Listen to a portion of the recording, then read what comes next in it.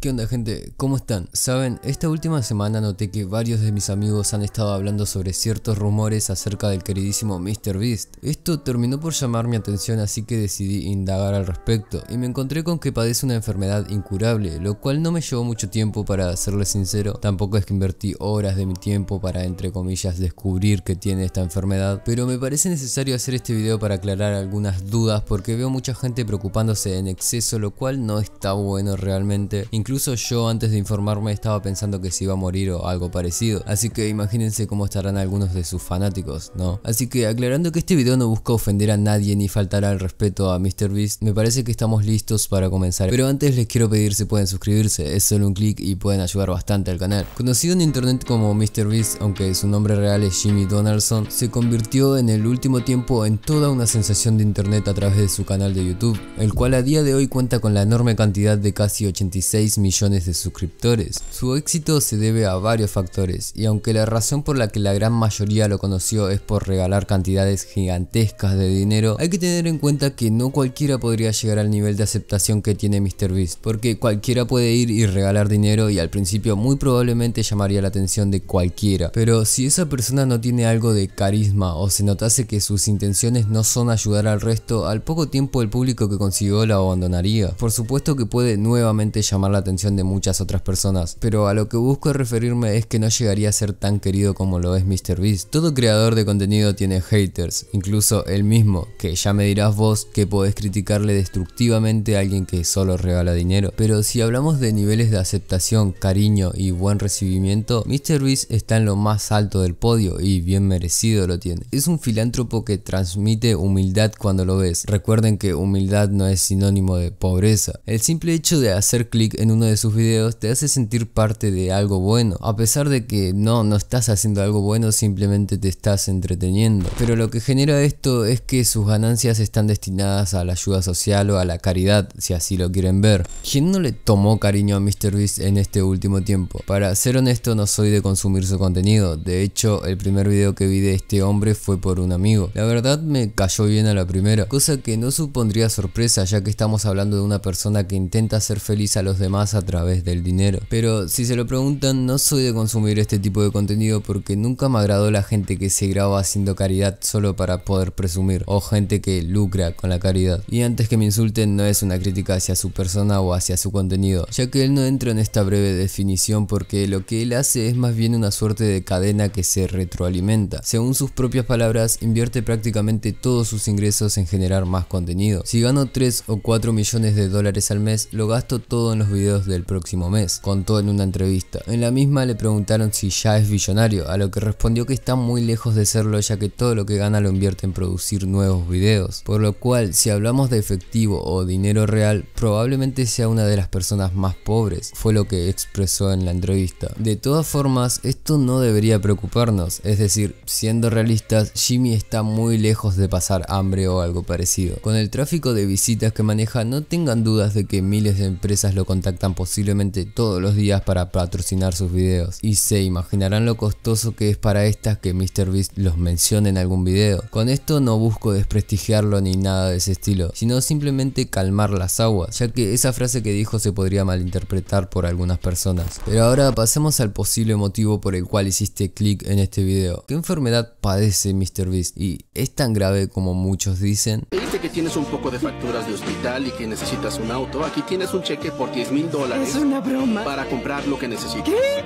¿Qué estás diciendo? ¿Hablas en serio? No puede ser, me no voy a puedo infartar. creerlo. Miren esto. Increíble. No puedo creer esto. Nadie me ha ayudado tanto en mi vida. Mira detrás de ti. No, quítate de en medio. Tengo mucho dinero que regalar antes de morir. Por favor, déjame vivir. Como dije al principio, estuve un rato indagando y me encontré con que padece una enfermedad incurable. Ahora, esto no quiere decir que sea mortal mientras que tomes las precauciones y sigas lo que los médicos te indiquen. La enfermedad que tiene MrBeast es conocida como la enfermedad de Crohn. Se trata de un mal donde el sistema inmunitario ataca por error a las células sanas del cuerpo. Si bien no se sabe con exactitud la causa de esta, los expertos creen que las bacterias en el tubo digestivo pueden desencadenar de manera equivocada una reacción del sistema inmunitario. Esto acarrea varios problemas de salud para quien la padece y pueden ser más o menos graves dependiendo de la persona, aunque por lo general tienen los mismos síntomas. Hablando claro, la enfermedad de Crohn puede causar complicaciones mortales, pero el riesgo de desarrollar estos problemas es muy bajo. Pero ¿quién mejor para contárselos que una persona que tiene esta enfermedad? And I was going to the bathroom like seven times a day. I had unbelievable pain every time, threw up like every other day, and I lost 30 pounds, spent an entire summer laying in my bed, um, tons of fatigue, bunch of problems, yada yada yada. Give me your sympathy. And then I got on Remicade, and I'm still on Remicade right now. I'm in remission. I get Remicade every five weeks, and I take pills every Saturday. I'm on a really, really strict diet, and uh, I feel normal. I actually feel kind of good right now. So, uh, yeah, it's mostly because of my diet. I have, I mean, beyond strict diet, but it's just because I like to feel normal. Uh, the only thing I drink is water, and I eat the same thing every day. But uh, if that, you know, if that's what makes me feel normal, then I'll do it for the rest of my life.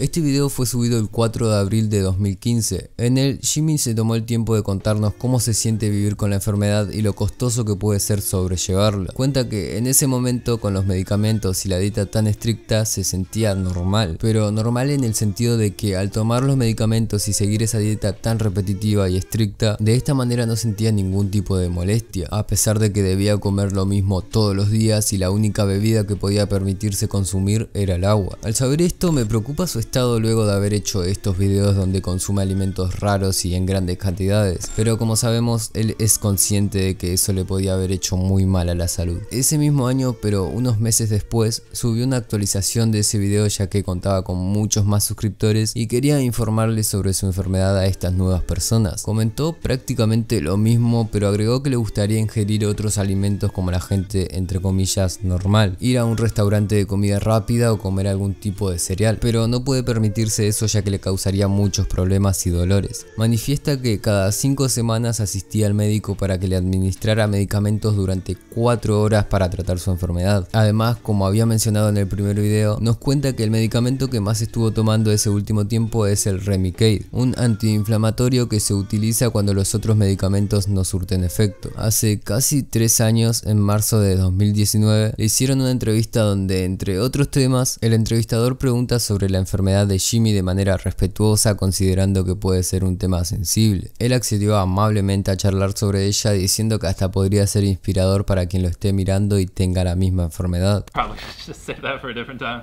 Okay. Do you not want me to include that? No, no, you can. Like, I don't mind because, like, if someone watching this has Crohn's, it might be inspiring. So I don't mind. It's just I don't I don't even really know all the ins and outs of Crohn's. I'm trying to get a class from a gastroenterologist to learn more because, like, I feel kind of weird talking about something when I'm not even really fully educated on it. I just know like inflammatory. It's a disease in my small intestine or something.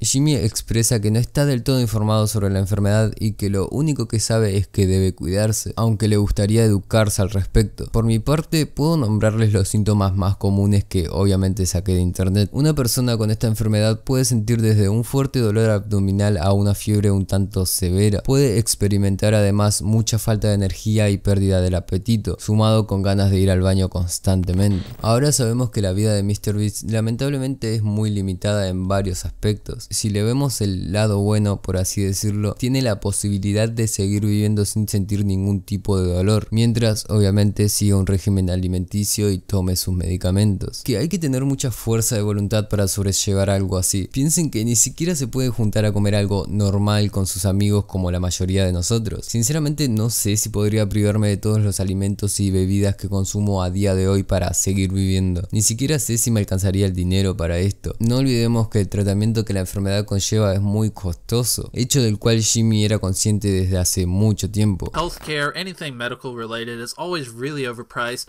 so I'm actually going to have to get a job with a big corporation or anything with good medical insurance because I'm not going to be able to pay for this on my own. Uh, that's something that a lot of people that I should have mentioned earlier with Crohn's have to struggle with is the medical expensive expenses. It's really, really, really expensive. And if you don't have good medical insurance, I have no idea how you'd be able to afford it. I'm definitely to have to get a job based on their medical insurance just so I can pay for Él no proviene de una familia adinerada, por lo cual sabía que debía encontrar una salida que le genere el suficiente dinero para seguir con su tratamiento y su dieta, o de lo contrario sería aún más complicado lidiar con la enfermedad por no decir imposible. Esto supondría algo desalentador para cualquier persona. Saber desde pequeño que padeces una enfermedad sin cura y que muy probablemente en algún momento tendrás que someterte a una o más cirugías. Pero miren, encontró la forma de generar millones de dólares por mes y además ayudar a otras personas. Todo un chat y un ejemplo a seguir, sinceramente. Pero sin más que decir, gracias por ver hasta el final, les mando un fuerte abrazo a la distancia y nos vemos en un próximo video.